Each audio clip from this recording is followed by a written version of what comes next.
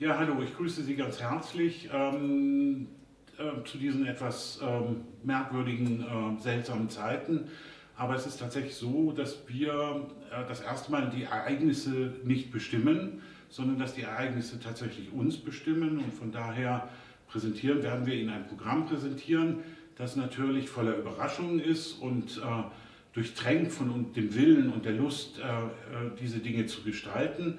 Aber wir wissen auch ganz genau, dass bestimmte Dinge vielleicht nicht stattfinden werden oder versetzt oder später. Ähm, jedenfalls ist es so, dass wir ähm, ähm, vor Überraschungen nicht gefeit sein werden. Liebes Publikum, auch von mir ganz herzliche Grüße. Wir haben uns bewusst dazu entschieden, keine Premierendaten und keine Konzerttermine zu veröffentlichen, sondern heute eine rein inhaltliche Pressekonferenz zu veranstalten. Unsere wunderbaren Mitarbeiter trotzen der Pandemie mit schier unbändiger Kreativität.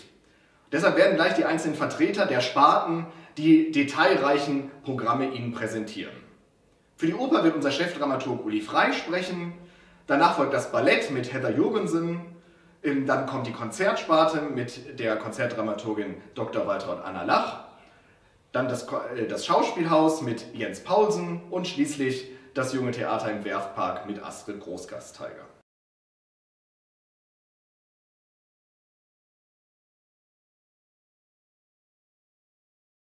Ja, in der Oper Kiel haben wir fünf spannende Neuproduktionen für Sie in Vorbereitung. Da ist zum einen die bereits angekündigte Barockoper Il Cambise, Geliebter Feind, die seit 300 Jahren auf keiner einzigen Opernbühne der Welt zu erleben war und die ganz besonders durch die spannende Kombination von 300 Jahre unerhörten, wunderbaren Barockklängen und einer absolut heutigen Tanzsprache besticht.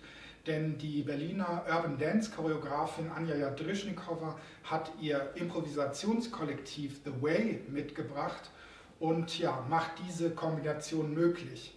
Der römische Barockexperte Alessandro Quarta kehrt nach ähm, der Aufteilung der Welt und die Gründung der Popea wieder zurück nach Kiel und bringt wirklich Barockexperten aus Israel und Italien mit, kombiniert sie mit den wunderbaren Stimmen aus unserem Ensemble. Die Inszenierung liegt bei Joachim Radke, einem echten Kieler Regisseur, der mit seiner Ausstatterin Lena Scherer Ihnen wirklich ein galaktisches Erlebnis bereiten wird. Galaktisch ist vielleicht auch die etwas bemühte Überleitung zur nächsten Produktion. Eigentlich wollte ich Ihnen jetzt eine Zauberflöte neu ankündigen, die äh, in einer ganz, ganz speziellen, nie gehörten Neufassung zu erleben ist. Ähm, der meistgespielte deutsche Gegenwartsdramatiker Roland Schimmelpfennig hat auch exklusiv für Kiel eine neue Textfassung geschrieben. Freuen Sie sich darauf jetzt in der Spielzeit 2021-22. Sie werden das schon im Spielzeitheft lesen. Stattdessen werden wir Ihnen hier in der Oper eine Opernzeitreise ermöglichen. Vom Monteverdi bis Strauss, über Wagner, über Mozart, Puccini, Verdi und so weiter eine große Operngala mit den wunderbaren Stimmen aus unserem Zauberflötenensemble. Am Pult steht jetzt auch dabei wieder ähm, GMD Benjamin Reiners. Und der wiederum ist auch mitverantwortlich, dass einer der gefragtesten aktuellen Shootingstars der deutschen Opernregie für die nächste Produktion nach Kiel kommt. Er hat gerade den Faustpreis in der Kategorie Musiktheaterregie gewonnen und äh, wir sind sehr froh darüber, dass Martin G. Berger zum ersten Mal hier in Kiel inszenieren wird. Ein Werk, das heute zu den absoluten Raritäten und Besonderheiten des Spielplans gehört, vor 100 Jahren sicherlich eine der meistgespielten Opern war. Das ist das veristische deutsche Werk Tiefland von Eugène d'Albert. In Tiefland geht es um eine ländliche ja, Gesellschaft in Katalonien, in der ein ausbeuterischer Großgrundbesitzer Don Sebastiano seine Müllerin und die Sintetza ähm, Martha dazu zwingt, einen Hirten aus dem Hochland zu heiraten. Das Ganze geht, wie Sie sich denken können, nicht gut aus. Und diese Gemengelage aus Zwang und Gewaltausübung hat eine frappierende Analogie zur Rezeptionsgeschichte dieses Stücks. Niemand anderes als Adolf Hitler nannte Tiefland eine seiner Lieblingsopern und er selbst hat seine wiederum Lieblingsregisseurin Leni Riefenstahl damit beauftragt, mitten während des Zweiten Weltkriegs eine Verfilmung dieses Stoffes, dieser Oper ähm, ja, durchzuführen. Darüber, dabei hat sie auch auf Zwangsarbeit rekurriert und zwar von Sinti und Roma aus einem nahegelegenen ähm, sogenannten Zigeunerlager. Auf diese spannende, frappierende Gemengelage zwischen Rezeptionsgeschichte und Inhalt der Oper rekurriert die Interpretation von Martin G. Berger, auf die wir sehr gespannt sein können. Eine absolute Seltenheit, ja vielleicht sogar Kostbarkeit des Repertoires ist auch unsere nächste Oper. Obwohl sie von einem der bekanntesten Opernkomponisten überhaupt stammt, nämlich Peter Tschaikowski. Seine allerletzte Oper Jolanta, ein märchenhafter Operneinakter, der 1892 mit dem Nussknacker uraufgeführt wurde, ist auf deutschen Bühnen wirklich selten zu finden. Und das, obwohl er Tschaikowski zu einer wirklichen rauschhaften Begeisterung geführt hat, anders als der Nussknacker, dem er zunächst etwas skeptisch gegenüberstand.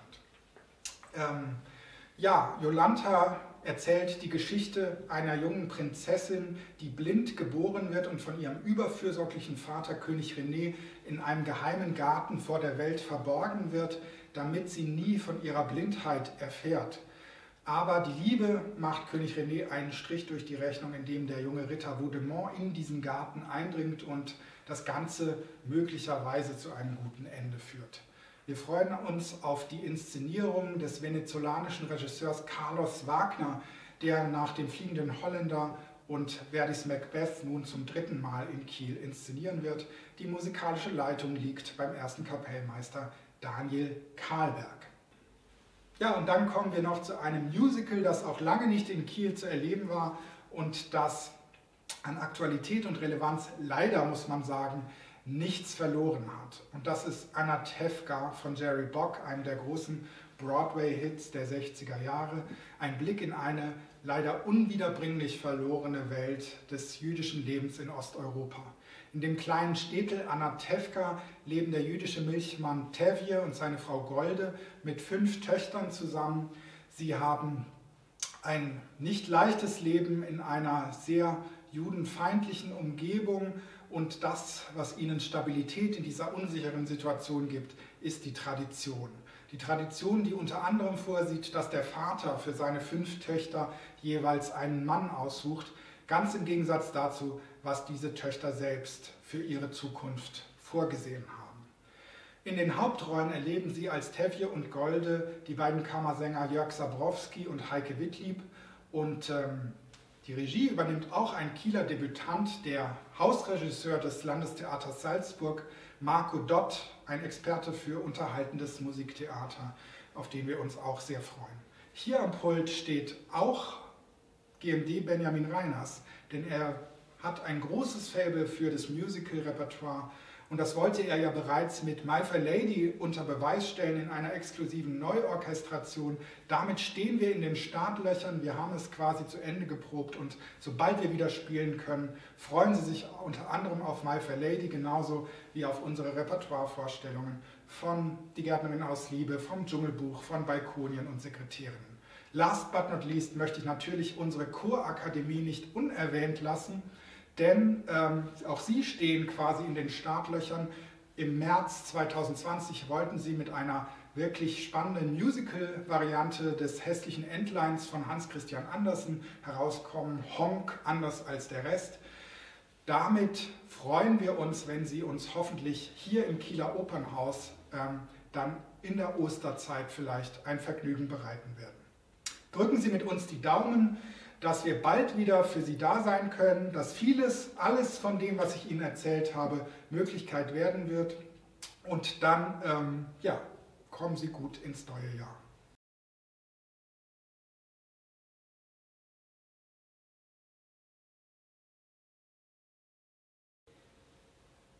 Guten Tag, ich möchte ganz gerne berichten, was das Ballett für die zweite Hälfte der Spielzeit plant.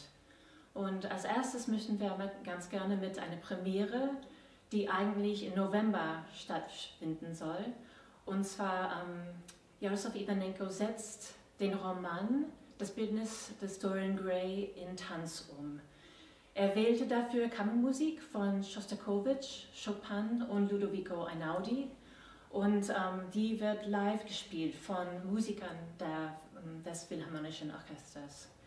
Ähm, die, die, das Bühnenbild und die Kostüme von Heiko Münig entführen uns in eine Welt der Spiegel und Eitelkeiten. Unsere zweite Premiere hat den Namen Herzensstücke, ein Tschaikowski-Abend, und vereint nämlich die großen Ballette von Peter Tschaikowski, Schwansee, Nussknacker und Dornröschen. Jaroslav Ivanenko hat, ähm, brachte alle drei große Ballette in den letzten zehn Jahren auf die Kieler Bühne. Und hier möchte sie neu aufgreifen und ähm, Höhepunkte daraus gemeinsam an einem Abend veranstalten. Und ähm, die wunderbare Tchaikovsky-Ballettmusiken werden vom Philharmonischen Orchester Kiel dargeboten. Unsere dritte Premiere heißt Stepping Forward, junge Choreografinnen und ist ein Format, ähm, das Sie schon kennen. Und ähm, ja, die junge Choreografin gibt es schon seit acht Spielzeiten bei uns. Diesmal ist die Besonderheit, dass das Ganze auf der großen Bühne des Opernhauses stattfinden, stattfindet. Und ähm, leider muss ich ähm, bekannt geben, dass unsere vierte Premiere, die im Spielzeitheft abgedruckt wurde, ähm, entfällt erstmal 23, ein Jubiläumsabend wird auf der kommenden Spielzeit verschoben. Weiterhin möchten wir ganz gerne unser Solitärabend spielen. Und ähm, das Stück hatte im September Premiere gehabt und ähm, ist ein sehr persönlicher, sehr schöner Abend geworden und offenbart ein besonderes Bild der Ballet Company. Und noch erwähnen möchte ich, dass im Frühjahr möchten wir sehr gerne unsere beliebte Ballettgale veranstalten.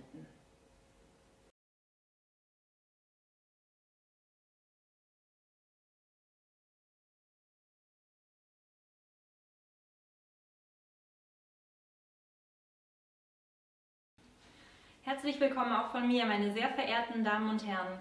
Ich habe jetzt das Vergnügen, Sie durch das Programm des Philharmonischen Orchesters in der zweiten Spielzeithälfte zu führen. Ja, zunächst einmal freuen wir uns sehr, dass wir den Beginn dieser ungewöhnlichen Spielzeit doch recht gut nutzen konnten und wirklich einige Veranstaltungen auch realisieren konnten und dass unsere Umplanungen so gut funktioniert haben. So durften wir zum Beispiel Beethovens 250. Geburtstag noch feiern, ein Familienkonzert mit unserem beliebten Elefantenpups, ein Phil-Extra-Konzert in den Stadtwerken und auch ein Programm zum deutsch-dänischen kulturellen Freundschaftsjahr 2020 realisieren. Ganz besonders schön ist dabei für uns, dass unser Publikum uns so zahlreich unterstützt hat und sich bei uns auch sicher und gut aufgehoben gefühlt hat, wie eine Umfrage der Musikfreunde Kiel und des Theaters aus den vergangenen Wochen zeigen konnte. Ja, aber wie geht's denn jetzt nun weiter mit dem Programm?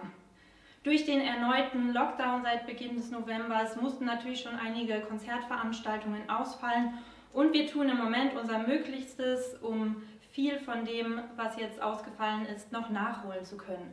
Ganz besonders natürlich das philharmonische Debüt unseres diesjährigen Artist in Residence, des Pianisten Fabian Müller. Das möchten wir Ihnen natürlich, wenn möglich, nicht vorenthalten.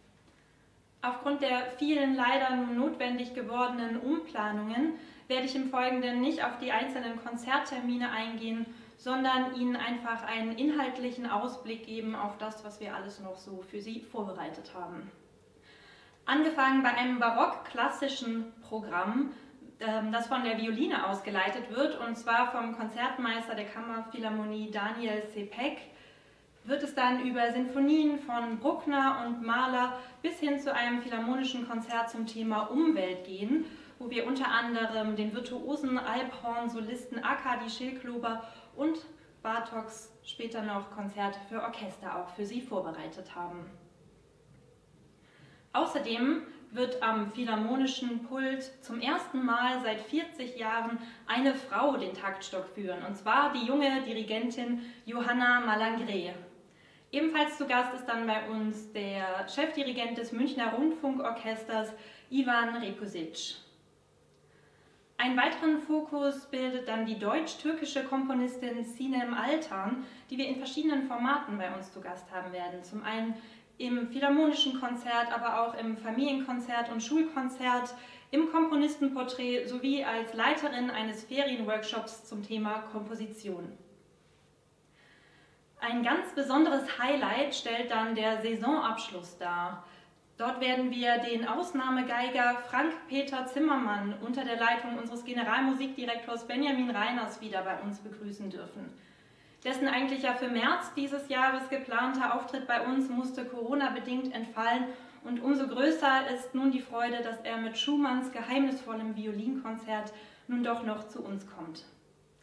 Außerdem hoffen wir sehr, dass wir nach dem 9. Philharmonischen Konzert dann auch für Sie hier oder mit Ihnen und dem Publikum gemeinsam ähm, Abschied feiern können von unserem Konzertsaal am Kieler Schloss und zwar mit Fest, Musik und Fischbrötchen, wenn es dann wieder heißt, Phil feiert dieses Mal Abschied. Neben den philharmonischen Konzerten warten auch in der Reihe der Conspirito-Konzerte und der Phil Extra-Konzerte weitere Veranstaltungen auf ihre Erweckung aus dem Dornröschenschlaf darunter die beliebten Afterwork-Konzerte in der Lille Brauerei, unser Konzert Philharmonie für Menschen mit Demenzerkrankungen, das Konzert Phil 3.0 im Computermuseum und natürlich auch die Familien- und Küstenkids-Konzerte.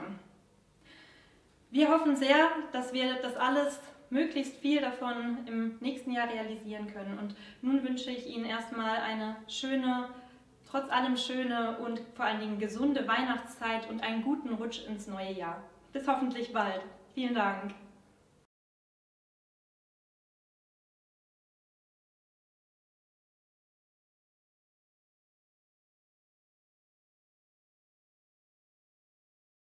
Schönen guten Tag, äh, der Spielplan des Schauspiels. Und zwar beginnen wir natürlich mit den Dingen, die eigentlich schon im alten Jahr hätte, hätten Premiere haben sollen, die jetzt aber doch nicht haben und dann hoffentlich demnächst irgendwann kommen.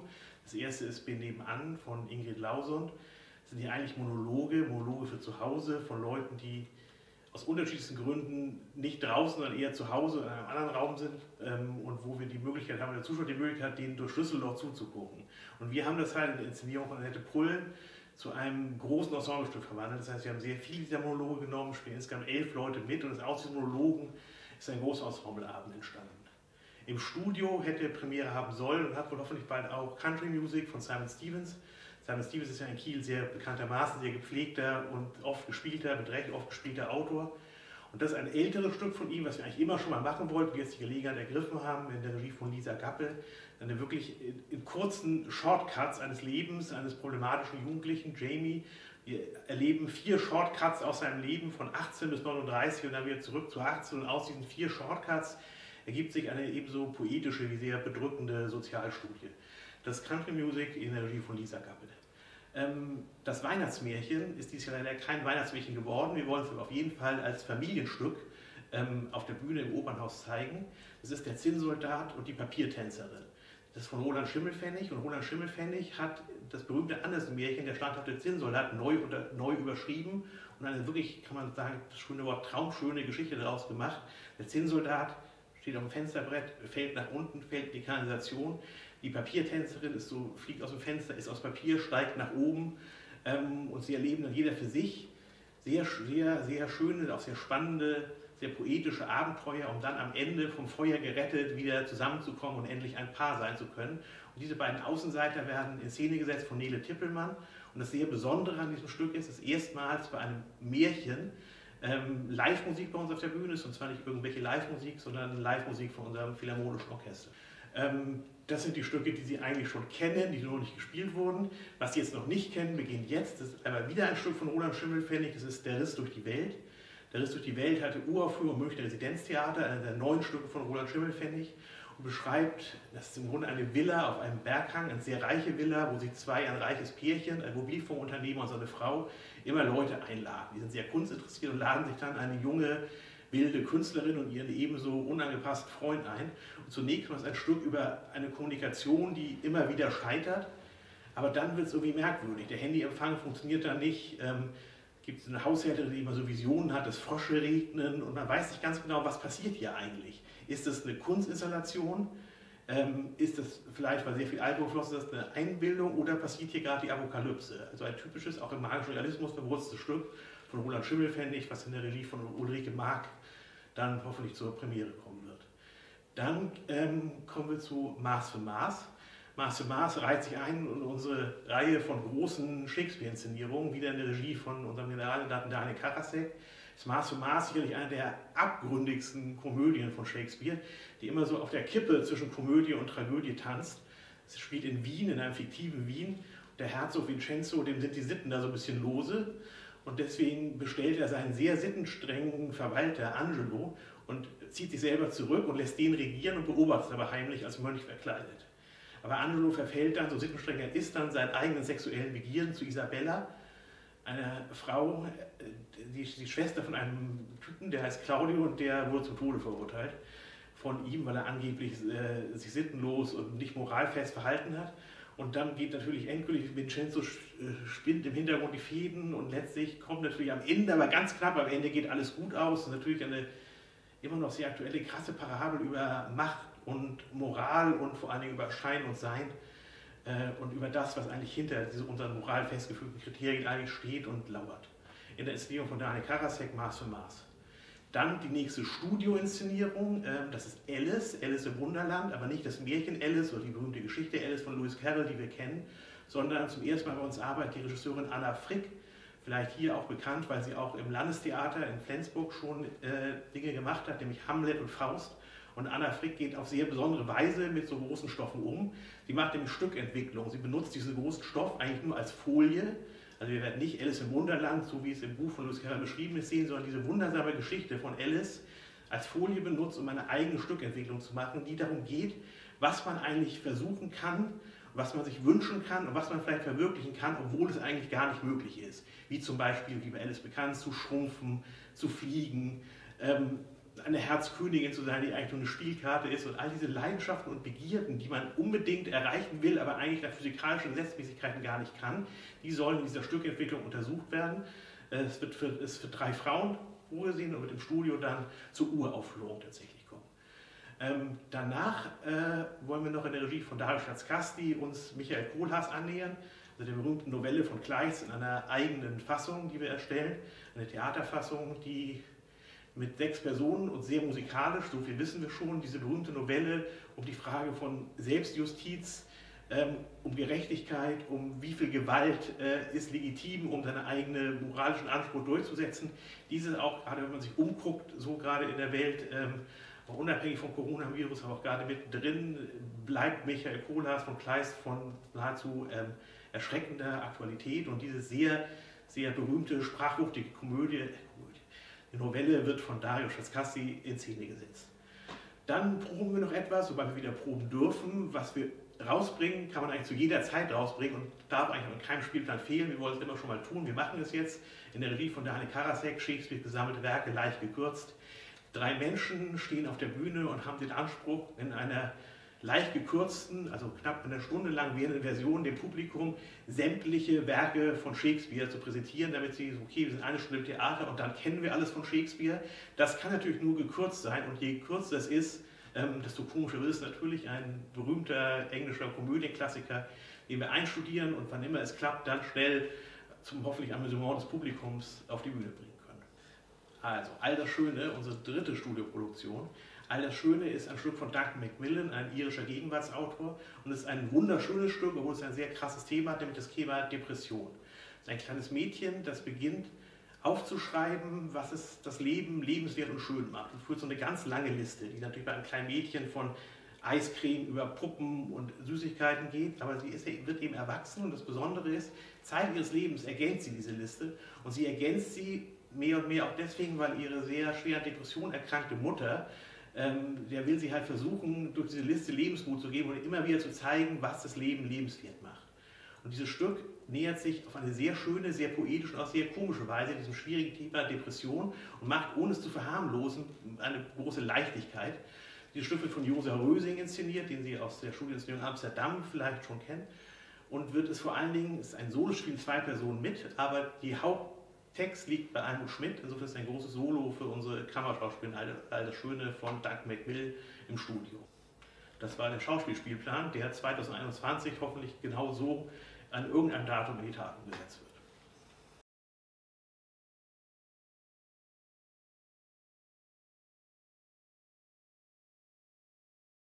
Im Jungen Theater im Werftpark planen wir für die zweite Hälfte dieser laufenden Spielzeit nochmal drei Neuproduktionen. Und alle drei Neuproduktionen beschäftigen sich mit verschiedenen Perspektiven aus verschiedenen Zeiten. Und ähm, eine davon hat den Titel Jugendzimmer. Also ein Raum, der allen, glaube ich, gut bekannt ist noch äh, oder gerade bekannt ist, weil man drinnen lebt. Und ähm, das wird ein Liederabend, dieses Jugendzimmer. Und äh, wir gehen mit Simon Burkhardt in sein fiktives Jugendzimmer zurück und ähm, schauen uns an, was in dieser Zeit alles passiert ist, wie dieser eine Raum die ganze Welt bedeutet hat und dieser eine Raum ihn eingeladen hat von großen Reisen, von der großen Zukunft und aber auch von kleinen Lieben und ähm, vielen anderen schulischen und elternbezogenen Dingen, wie dieser Raum ihn beschäftigt hat und äh, wie er das musikalisch auch äh, mit uns dann aufbereitet auf der Bühne. Das wird ein Liederabend Jugendzimmer. Dann beschäftigen wir uns ähm, in dem Stück bzw. der Bearbeitung des Romans Deutschstunde von Siegfried Lenz, den ähm, Johannes Ender übernehmen wird und auch wirklich die Fassung machen wird, beschäftigen wir uns mit Sigi, der in einer Anstalt für schwer erziehbare Jugendliche ist und ähm, eine Aufgabe bekommt, einen Aufsatz zu schreiben, einen Aufsatz über die Freude an der Pflicht ähm, Sigi schreibt erstmal nichts. Er gibt ein leeres Heft ab und äh, daraufhin kommt er in einen Arrest, bis er etwas geschrieben haben soll. Am Schluss schreibt er sehr, sehr viel. Er setzt sich auseinander mit äh, der Vergangenheit seiner Familie im Nationalsozialismus, mit der Position seines Vaters, der als Dorfpolizist in einem fiktiven Dorf in Schleswig-Holstein die Aufgabe bekommen hatte, einen Maler zu überwachen und dessen Berufsverbot zu überwachen. Und Sigi setzt sich auseinander eben mit dem Thema der Pflicht, der Pflicht zum Gehorsam und aber auch der Pflicht zum Widerstand. Wie gesagt, Johannes Ender macht die Fassung und Johannes Ender wird auch Regie führen bei dieser Produktion. Die dritte Produktion geht auch ein Stück in die Vergangenheit, obwohl sie im Heute spielt, ähm, trägt den Titel Wolfgang Wunderkind, ist für ein Publikum ab fünf Jahren und äh, beschäftigt sich mit Mozart. Wir begeben uns äh, in eine Ausstellung, in eine multimediale Ausstellung, in der wir Mozart begegnen, der ähm, tatsächlich in einer Form ausgestellt ist, in der er gerade mal zehn Jahre alt ist und äh, überraschenderweise lebendig wird und ähm, sich mit uns eigentlich auf die musikalische Suche seiner Anfänge und auch seiner großen Opern begibt. Geschrieben hat das Stück Christian Himmelbauer und der wird auch das Stück inszenieren. Das sind unsere drei anstehenden Premieren. Ansonsten läuft vieles aus dem Beginn dieser Spielzeit auch natürlich weiter. Und ähm, für die beiden großen Stücke Deutschstunde und Wolfgang Wunderkind werden wir unseren Bühnenraum noch einmal umgestalten, sodass wir ähm, ganz gute Möglichkeiten bieten können, sowohl für die Schauspielerinnen als auch für Sie als Zuschauer, dass wir uns wieder ganz sicher etwas näher kommen können.